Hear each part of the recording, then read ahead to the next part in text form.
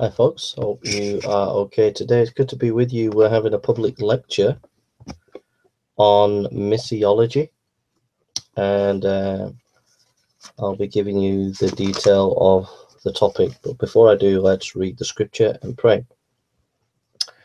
Paul in Romans chapter 1 Paul, a servant of Jesus Christ, called to be an apostle, separated unto the gospel of God which he had promised afore by the prophets in the Holy Scriptures concerning his Son Jesus Christ our Lord, which was made of the seed of David according to the flesh, and declared to be the Son of God with power according to the Spirit of holiness by the resurrection from the dead, by whom also we receive grace and apostleship for obedience to the faith among all nations for his name among whom are you called of Jesus Christ, to all that be in Rome, beloved of God, called to be saints, grace to you and peace from God our Father and the Lord Jesus Christ. First, I thank my God through Jesus Christ for you all, that your faith is spoken of throughout the whole world. For God is my witness, whom I serve with my spirit in the gospel of his Son.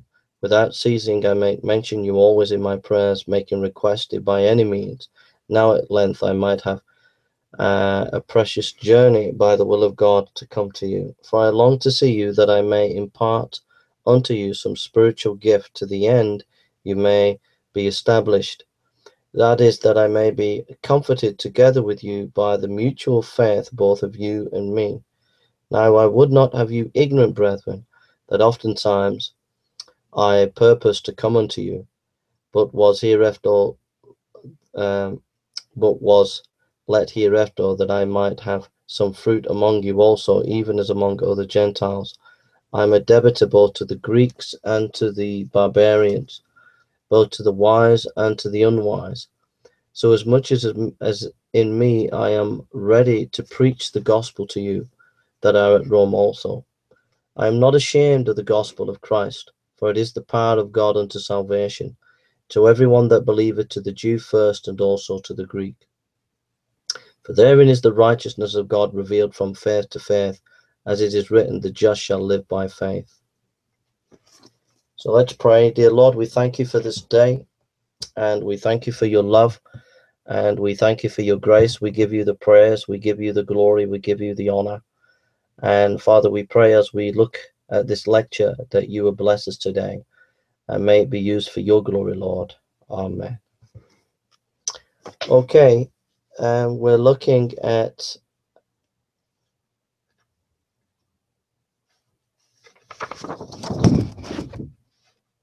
the question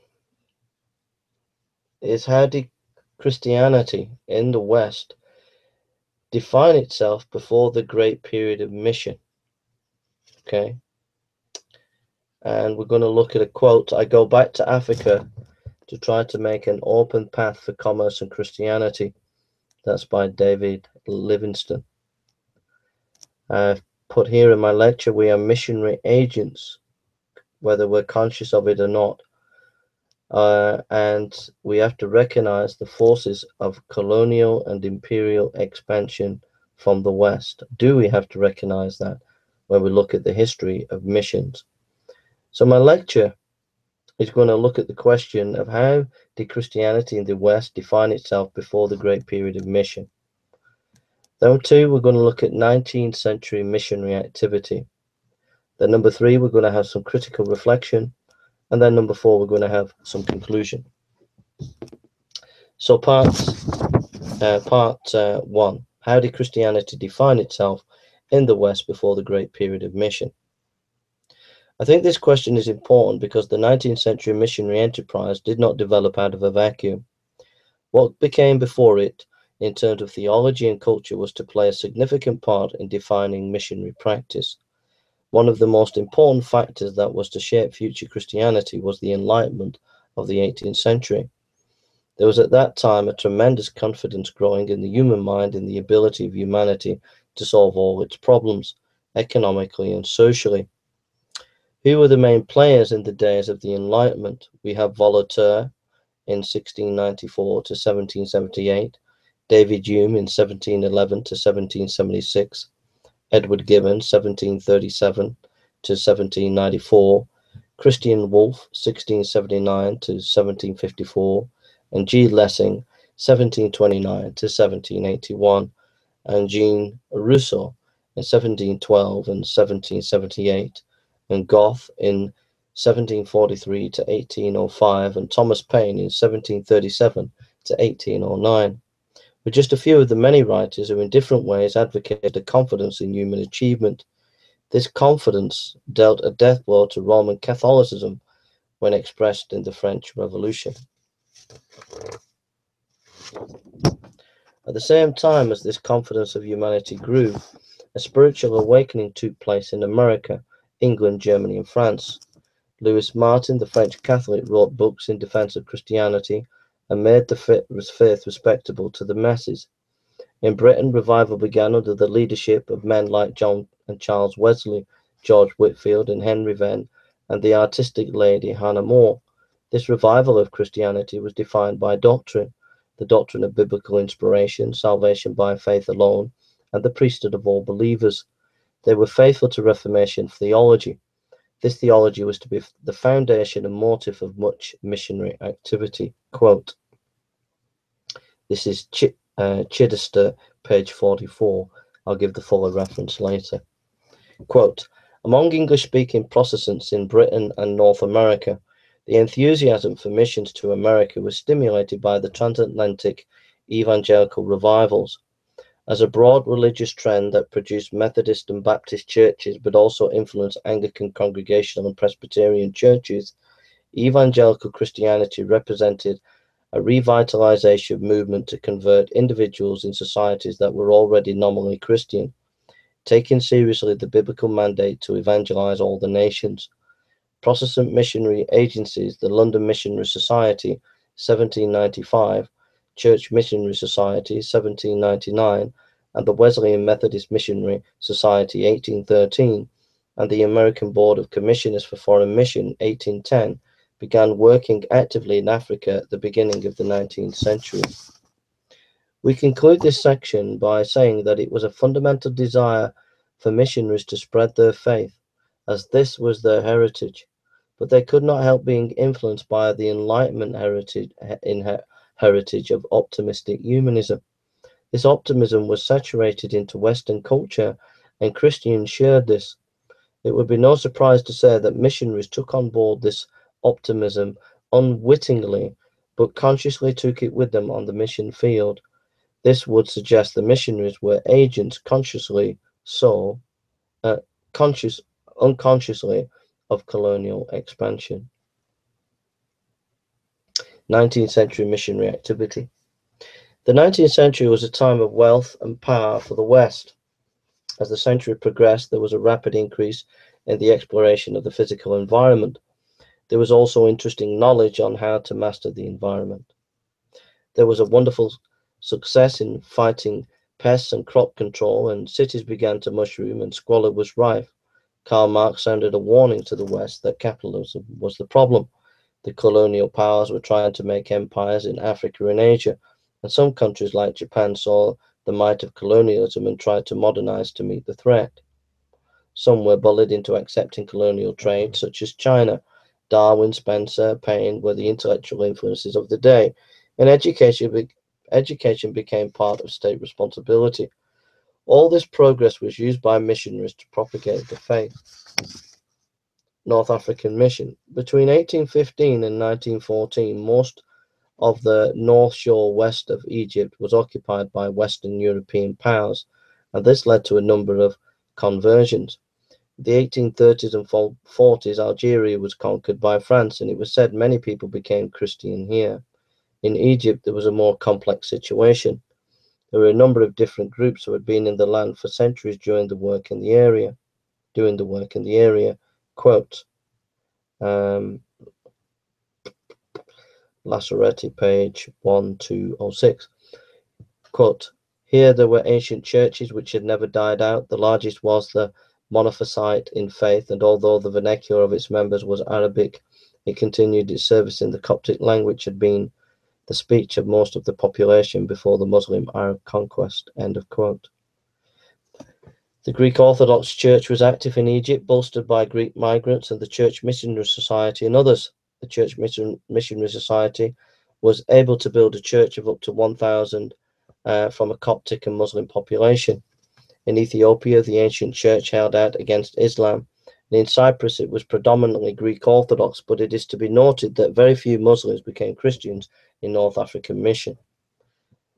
Next, Latin America. Positivism, advocated by A. Comte, was a major influence in Latin America. This was seen in the bitter struggles for power in these countries. The clerics wanted the church to rule the countries, and the anti clerics wanted states to run the church. On the cleric side was Garcia Moreno, and he was a typical of his statesman of his time, highly educated and influenced by liberal political thinking from Europe. He ruled Ecuador with an aristocratic flair. Other factors that controlled mission in Latin America was a lack of clergy. It was not until 1899 that the Pope could change the situation, and that too, and that was to send help from Europe. Africa. By 1884 to 1885, colonial powers were furiously dividing up Africa for themselves. They made by doing this, instability was brought into the region. This period of African missionaries were busy fighting the slave trade the missionaries translated score of languages to writing and they started schools, they brought medicine and standardized morals.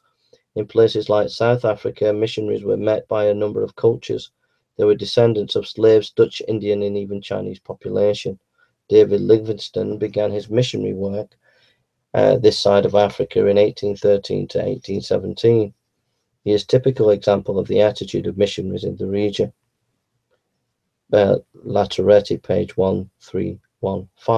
Quote, He loved the Africans, dealt with them tactfully and selflessly, and won their confidence. Fearless and with an inobitable, indomitable will, he drove his body often racked and spent with fever and dysentery, and he did incredible exploits. End of quote. After Livingstone's death, his friend Stanley continued his work. The chief of Baghdad, Baghdad became a Christian through Stanley, and the reason the chief became a Christian is interesting. The chief thought that the European technology was superior to that of the Africans, and this made him follow the European God. Madagascar and Africa, south of Sahara. In Madagascar, the chiefs were noted for wanting to exploit European methods and tools to enlarge their domains. Chiefs made the diplomatic and commercial overtures to the British and encouraged the coming of teachers. Favour was also shown to the London Missionary Society. They opened schools, translated the Bible, and made a hymn book. And in 1836, Christians were ordered out. And in the 1860s, chieftains were converted and Christians spread again. India. In, 18, in 1792, the Baptist Mission, Missionary Society started with William Carey. He and many like him began to arrive in India. It was not easy in those early days. The East Indian Company was hostile to missionaries and Carey was not put off. He settled near Calcutta where he translated the Bible and found a school. In 1806, Henry Martyn arrived as chaplain to the East Indian Company. He kept up his duties to the troops and preached to Hind Hindus and Muslims. He also set up a school and did translating work. Even evangelicals back home lobbied Parliament and eventually the East Indian Company had to give way to an influx of missionary activity. Some more important points need to be made about missionary work. The main religion was Hinduism, and the main outstanding feature in India was British rule. This brought Western civilization. The Indian landscape was crisscrossed by railways, telegraph lines, and a postal service, and the English language. The colonial education was standard in India, even a British court system was forced on the Indians.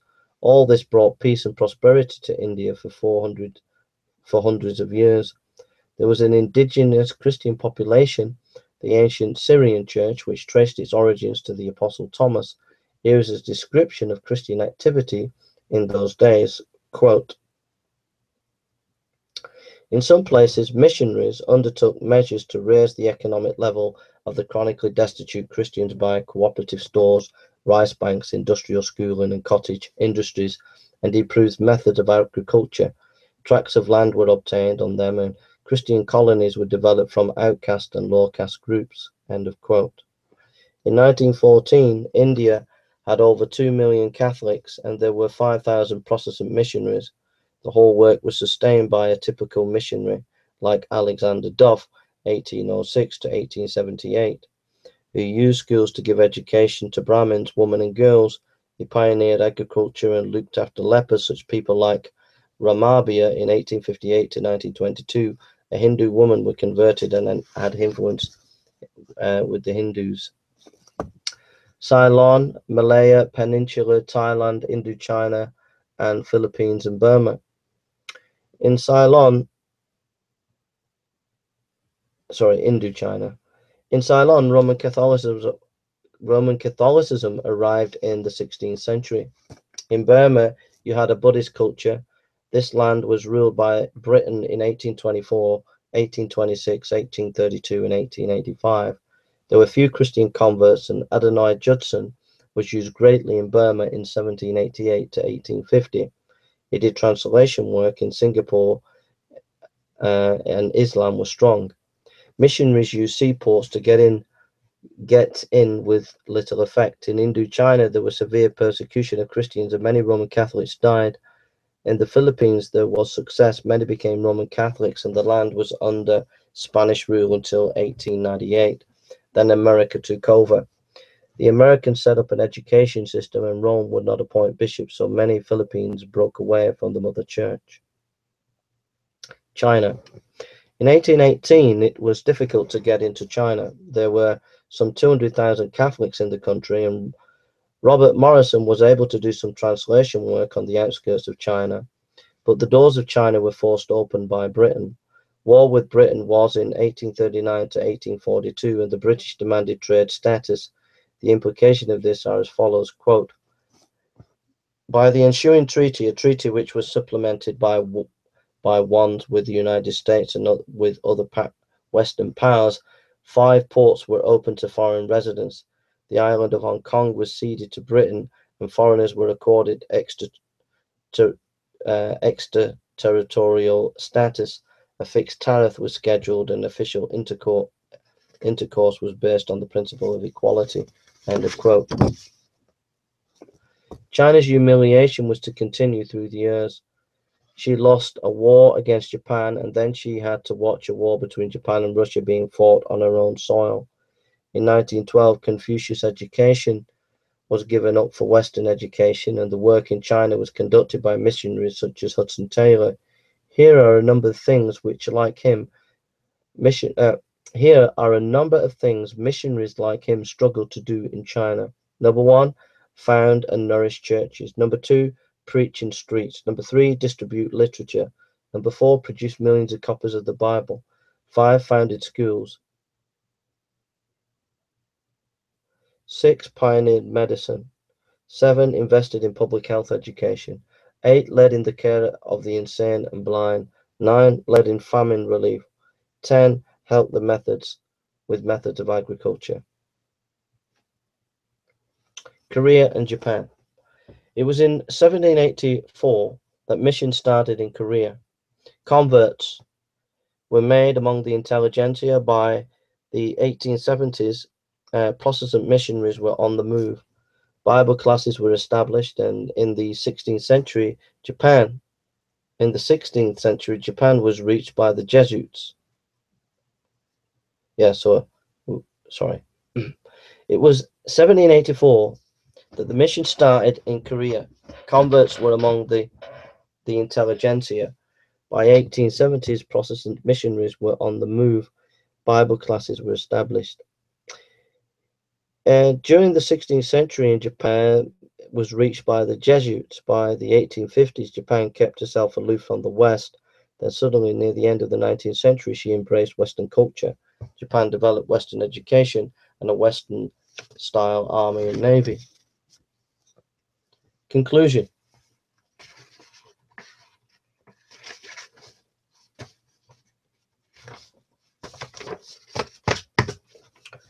These are my lecture notes that have been typed out.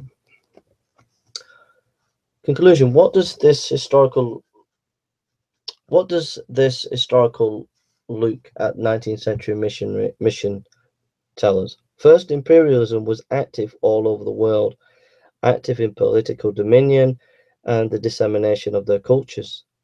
India is an example of what they received at the hand of the British rule. Missionaries helped this imperialism by propagating Western values through education and the transplanting of Western technology. Secondly, every continent had its own set of problems, so a one theory to fit all mentality will not do. Christians did missionary work in different ways because of the different circumstances. For example, missionaries in Africa were not as respectful of the indigenous culture as the missionaries of China. Thirdly, some countries had already ancient Christian cultures. This means the charge that Christianity is itself a form of imperialism is ruled out when the indigenous people have already had a long tradition of Christianity. Fourthly, the vast majority of missionary work all over the world was concerned with salvation and genuine missionary humanitarian aid. Third, critical reflection. There are a number of questions and opinions that we have to look at before we can make up our minds. What is the general view of scholars on the issue at hand? I have found virtually no writer who is pro missionary, but almost all are negative to 19th century missionary practice. Quote Historians, anthropologists, and theologians unite in their judgment that missionaries have been guilty of foisting their own cultural values on their converts. They have upset the stability of indigenous, indigenous social systems and saddle the younger churches of the third world with a thoroughly foreign Christianity. End of quote, Stanley, uh, page 157.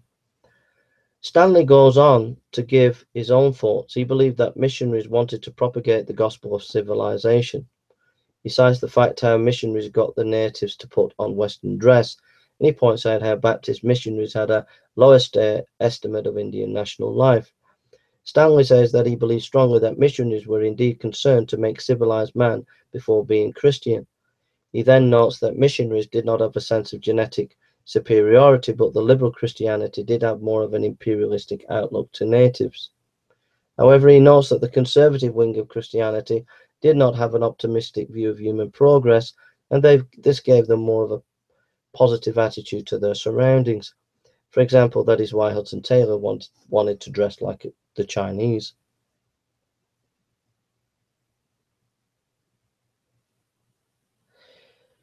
The question Is it true civilization before conversion? We looked at mission reports and they tell how those going on to the missionary field were wanting to win people for Christ, not civilization. What did the Wesleyan Missionary Report concentrate on with its works in China? They report not about the victories of civilization, but the churches had distributed tracts and New Testaments. Telford, page 144. The Ceylon report was enthusiastic at the success of people believing in the truth of Christ. Telford, page 147. Ceylon, report, Ceylon reports attacks from Buddhists. They saw the fight was an ideological in terms of truth versus error, not civilization versus primitive man. It is clear in some cases then civilization was not the agenda, primarily so, of missionaries. One of the most devastating critics of missionaries of the past is Pettifer. He shows no mercy and he often points out that these missionaries were failures. Even when missionaries saved many slaves, so what? Because they were put in work camps and treated harshly. Livingstone is a joke, a seeker of fame who failed pathetically, a person who lost faith in missionary work as traditionally known. Quote, Yet Livingstone's own experience had taught him that the word of God alone was not enough to heal the open sores of the world. When he told his Senate House audience they go back to Africa to try to make an open path for commerce and Christianity, he was cheered to the rafters. The mind of his audience, these two aims, enterprise, and evangelism were wholly compatible. End of quote. Pettifer also, like Stanley, notes that missionaries had one ambition to lift folk to, up to Western civilization. He says that missionaries regarded Africans as heathens, ignorant, helpless, and evil. He proves this by reporting on what the American Methodists wrote at the time. Heathen man, Tragedy, heathen, ignorant, helpless. Christian man, triumph, intelligent, Christian, force for righteousness, social and economic good. Heathen motherhood, savage childhood has but one teacher. The mother savage motherhood makes the future generation savage. These are these are headlines. Christian motherhood. The Christian mother is the maker of future generations of Christians. Without her, the task looks almost hopeless. Pettifer notes this is outrageous, racist, arrogant to say the least. He then has some compelling pictures, and we see African boys dressed in Western suits, and we see the Chishiwoka mission band, and they have Western drums. On one picture, we are shown a Jesuit priest playing music to African boys on a xylophone. Then, on top of this, it gives a furious attack on James Moffat, who he says was more interested in selling his skills as a munitions repair worker. Prefer, uh, point, paints the missionaries as evil agents of colonialism. Is this fair? I think that civilization was a second in, in importance to the missionaries. What was important was salvation. Though the two did go together. But even the desire to bring civilization was out of love for the people. J. Moffat sums up his 40 years as missionary work. Quote, My dear brother, what an animated prospect we have in view. Our Saviour reigns, the Lamb is in the midst of the throne. What a stimulus to zeal in all that is reference to our Redeemer in this world, that we may meet them not only those to whom God in his great mercy has made us the means of their advancement to the many mansions. End of quote. It cannot be denied that missionaries were con conscious agents of colonialism from Pettifer's evidence.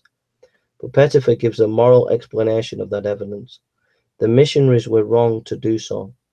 But my question to him is this why did they do what they did? It was out of sacrificial love in most cases. Here is a missionary's letter as he reports what it cost him to bring the gospel to China. Quote, the Lord has honored us by giving us fellowship in his sufferings, three times stoned, robbed of everything, even clothes. We know what hunger, thirst, nakedness, weariness are as never before, but also sustaining grace and strength of God, and his peace in the new strength of God, and his peace in a new and deeper sense than ever. Quote, billow after billow has gone over me, home gone, not one memento of dear Maggie, even penniless, wife, child gone to glory, Edith lying aside with diarrhea in one village after a heavy stoning with brickbats. They put ropes under me and dragged me along the ground that I might die in the village itself. End of quote. Pettifer's book we found to be unscholarly.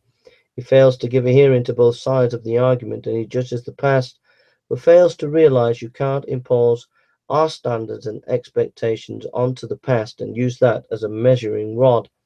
He simply fails to reflect what the Africans of the day thought of the missionaries. That should be our starting point for historical work. Finally, the pictures we see of technology being brought to Africa, was it really that bad? New inventions are made every year, but do we keep them under lock and key?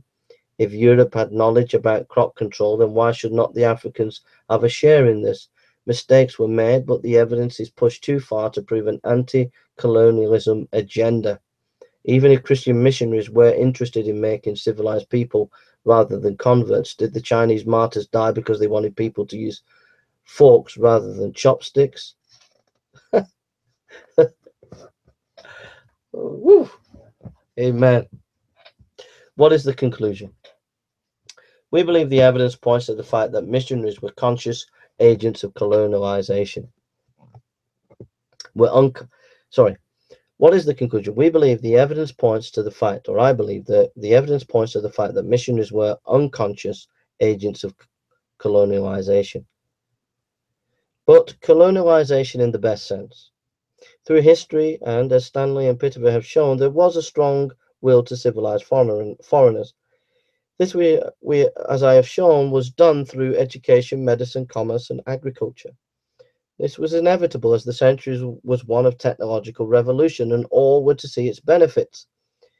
India received an imperial system of weights. In China, magazines were set up to teach the Western sciences. Japan adopted much of Western technology. Everybody saw the benefits of Western technology. In fact, if you fail to realize this, you fail to understand that century.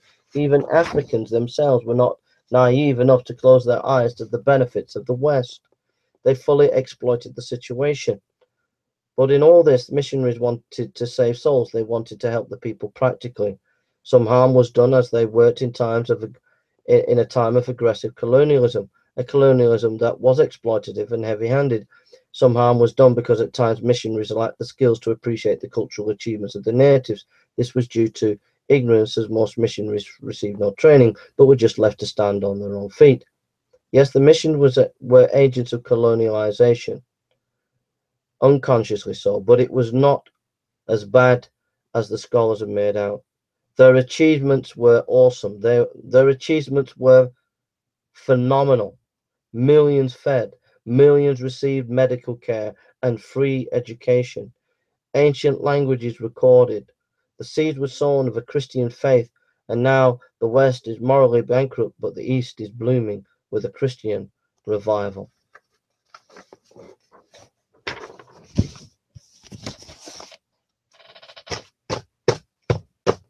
Amen. Okay, references to the work, to the lecture, and um, look up these books, have a look at them, read them. Okay, the foreign threat and opening of the ports, Cambridge History of Japan, Cambridge University Press, New York, W. Beasley, 1989. Christianity, A Global History, Penguin Press, D. Chidester, 2000. Christian Missions and Their Impact to 19 to 1900, Cambridge History of China, Volume 10, Cambridge University Press, New York, P. Cohen, 2000. Letter to Family, Martin Missionaries of the China Inland Missionary, Inland Mission, 1900, Morgan and Scott, London. E. Cooper, 1900. L. Uh, sorry, Colonialism in Africa. Cambridge History of Africa University Press, New York. L. Gann, 1969. Black Christians and White Missionaries, Yale University Press, New Haven, 1990. R. Gray, 1990. The selection and training of missionaries in the early 19th century, the mission of the church and the propagation of the faith of Cam Cambridge University Press, Cambridge. P. Hinchliff, 1970. A History of Christianity, Harper, New York. K. Latourette, 1953. The New Cambridge History of India, Cambridge University Press, New York, 1991. D. Ludden. Missionaries, BBC Books, London, 1990. J. Pettifer, 1990. The Bible and the Flag, IVP, Leicester. B. Stanley, 1990. A Short History of Wesleyan Methodist Foreign Missions, Charles H. Kelly, London. G. Telford, 1903. Robert Moffat, Religious Tract and Book Society. W. Walters, 1884. That's all my sources for this lecture. I hope you enjoyed it and I hope it was uh, informative. I hope it, it gives missionaries, pastors, and uh, evangelists and leaders for mission some pointers to uh, point your strategy, to point your prayer, and to think about how you can move forward in mission uh, with your church. And um, if you want to use this lecture in your church, uh, you want to make a copy of this lecture, pass it on to your church or, or wherever you feel free to do so uh, without charge. Let's come before the Lord. Father God, we thank you for your grace. We thank you for your love. And we thank you for your blessings. And we give you the prayers. And we give you the glory today. We thank you that you are our God. And Father, we pray that you would give us the passion for mission like our forefathers, for those who suffered for the gospel, who val valiantly went on serving for you and proclaiming the word. Help us to do the same for our generation, Lord. Give us the wisdom to know how to reach our generation for you, Lord. In your name, amen. Amen. I hope that you found that lecture a blessing. That's it for me today. Look out for the coming weeks on other channels for sermons, lectures, and debates and discussions. Okay. Thank you for listening and God bless you.